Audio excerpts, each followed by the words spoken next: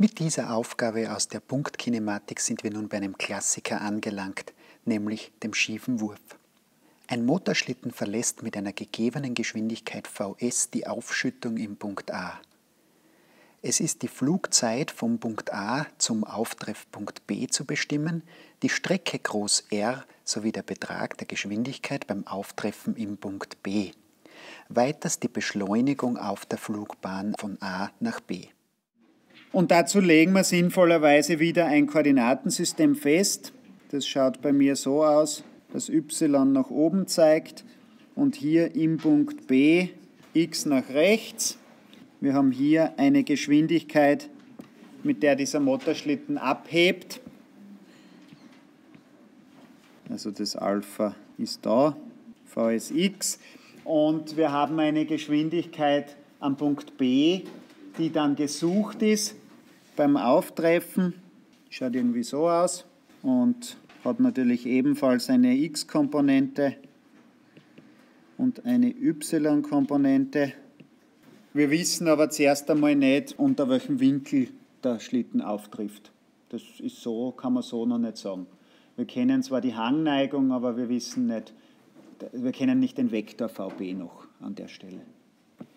Alles andere ist gegeben, ja, passt. Mal vielleicht als Nebenrechnung gleich. Aus diesem Tangens Beta kann man sich ja die Geometrie berechnen, diesen Abstand R und die Höhe zwischen Punkt B und A, das ist klein h. Tangens Beta muss dann h durch r sein. Und wenn das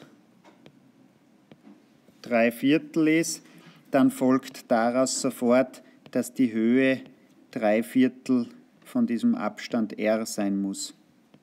Das ist unser Zusammenhang, den man aus dem Tangens rauskriegt.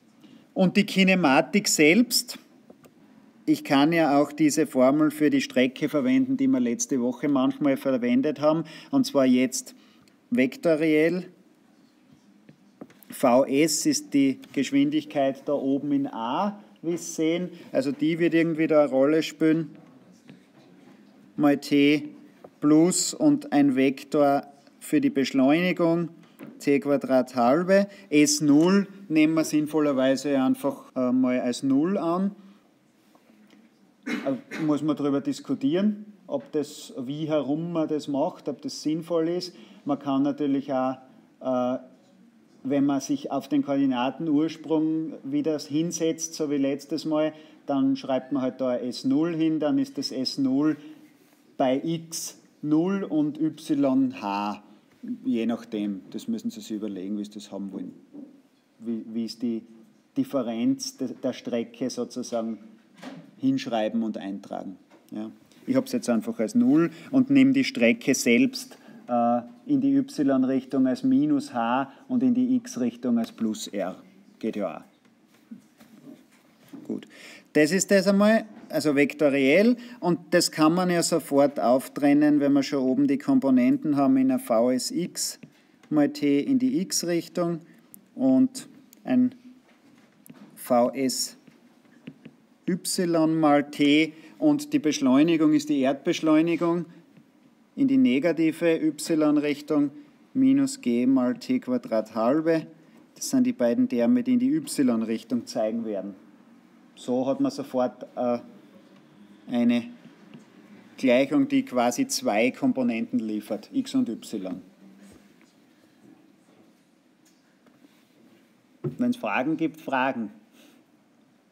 Haben Sie da zu dem Beispiel, ist, ist unklar irgendwas? Na, weil es hat nach, nach reger Diskussion ausgeschaut.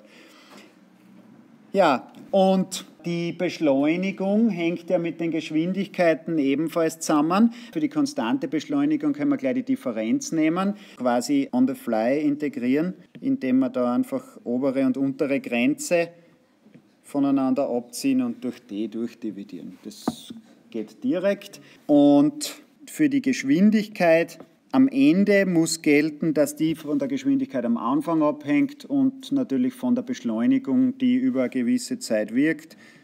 Also a mal t. Das ist ganz allgemein das, was man über das Problem aussagen kann. Und das sind einmal drei Gleichungen. vektorieller Natur, die vermutlich ausreichen werden, um alles auszurechnen.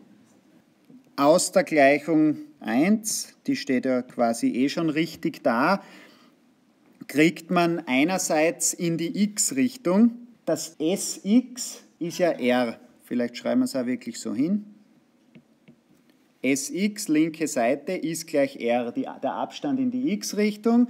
Und laut Gleichung muss der sein, diese Komponente da, weil das ist die einzige, die in die x-Richtung zeigt, Vsx mal t. Das ist alles, was in die x-Richtung aus der Gleichung 1 rauskommt. Und in die y-Richtung, wenn man dafür s die y-Richtung einsetzt, v ist y mal t, minus g mal t Quadrat halbe, ja, haben wir mal auf der rechten Seite und auf der linken Seite fürs s. Äh, ich schreibe es einmal vorsichtig her, h, aber in dem Bildchen da jetzt minus h. Darauf muss man aufpassen, sonst kriegt man natürlich falsche Vorzeichen. Und das Minus h ist genau das Minus 3 Viertel r, was wir oben hingeschrieben haben. Ja? Und jetzt schreibe ich das sy da links her. Also das hier und die beiden Teile sind einmal zwei Gleichungen. Das ist die y-Richtung. Also ich habe jetzt da beispielsweise 1' in 1,2' eingesetzt. Dann haben wir minus 3 Viertel Vsx mal t, da das r eingesetzt von oben, das ist ja Vsx mal t, ist die rechte Seite Vsy mal t minus g mal t Quadrat halbe. Dann kann man ein t rauskürzen und daraus sofort mit einer linearen Gleichung das t bestimmen. Dann ist t Vsy plus 3 Viertel Vsx mal 2 durch g umgeformt. Eingesetzt, Vsy, wenn wir raufschauen, war Vs Sinus Alpha, Vsx ist Vs Cosinus Alpha, also Vs Sinus Alpha plus 3 Viertel Vs Cosinus Alpha mal 2 durch g. Das Vs kennen wir, das ist 10 Meter pro Sekunde. Setzen wir es ein, dann kriegt man 2,48 Sekunden raus. Das ist das Erste. Dann setzen wir die zurück ein in die Gleichung 1' und kriegen sofort die Strecke r raus. Vsx war ja Vs Cosinus Alpha mal t. Dann ist r 19 Meter. h kann man sich direkt ausrechnen, das brauchen wir eigentlich nicht wirklich.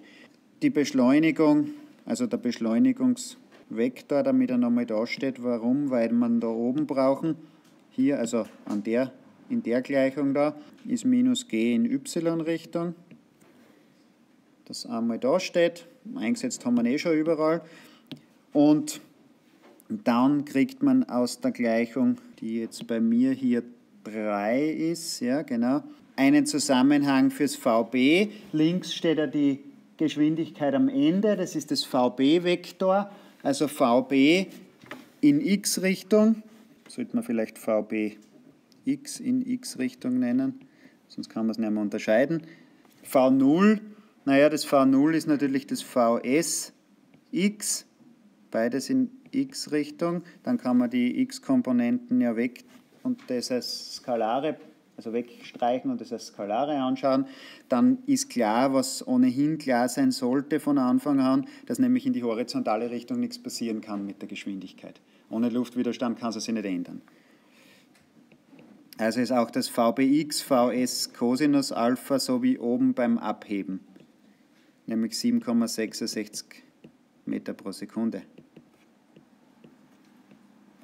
Und in die y-Richtung, dann mache ich gleich den Koeffizientenvergleich und erspare mir diesen Vektor ey, ist das V0 Vs Sinus Alpha